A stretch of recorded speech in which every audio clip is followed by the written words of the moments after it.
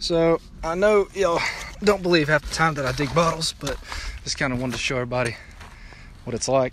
And it looks like I got two down here, one right there, and one right there. So we'll see how this goes here.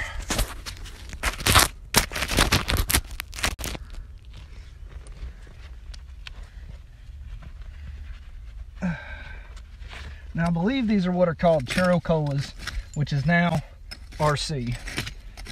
And many people don't know what that is or how the story came about, but in Knoxville, they outsold Coca-Cola almost two to one, which was really big at the time, especially because Coke had so many different people that they were involved with and had the lawyers and everything.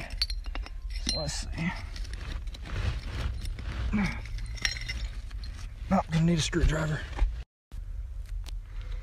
So we're back for part two. Got the screwdriver now. It should come out, hopefully. And hopefully it's whole and not broke.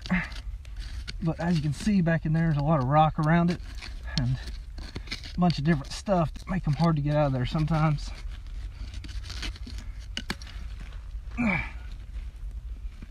And you got to be gentle with them because you don't want to break them. Yep, right there. Cola, Knoxville. It's over 100 years old.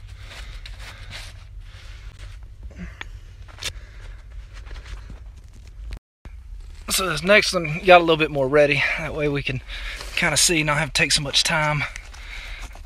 And this is going to be what I think is a red rock. Yes, red rock from Knoxville. Really pretty bottle. But it's nice to find. Got a little bit of damage, but thanks for watching my TED Talk.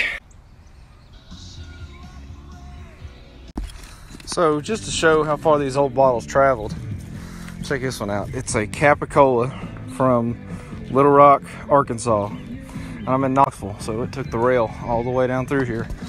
Came out of that hole right back there. It's a good day so far.